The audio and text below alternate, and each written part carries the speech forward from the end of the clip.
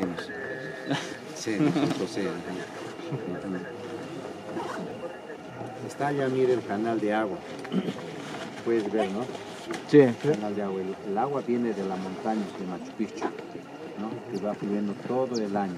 Es más, el hotel que está en la entrada también consume el agua que viene de la montaña. Es agua pura, de filtración, agua que nosotros sí podemos beber, ¿no? Cogemos el